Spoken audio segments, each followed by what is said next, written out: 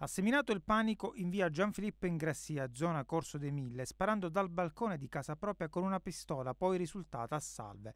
L'abitazione dell'uomo di 64 anni è stata circondata dagli agenti di polizia dell'unità operativa di pronto intervento. Ai residenti è stato detto di non uscire da casa. Secondo una prima ricostruzione, l'uomo, come hanno detto alcuni residenti e gli agenti, sarebbe andato in balcone a petto nudo e con indosso solo un paio di pantaloncini. Dopo i colpi esplosi, l'arma era stata appesa alle persiane di casa.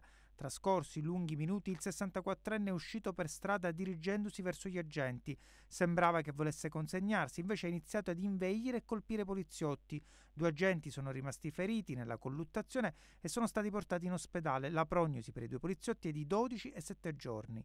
Alla fine il palermitano è stato bloccato e ammanettato e arrestato con le accuse di resistenza a pubblico ufficiale, lesioni e minacce. Sequestrati anche un coltello da sub e l'arma, una pistola caricata a salve.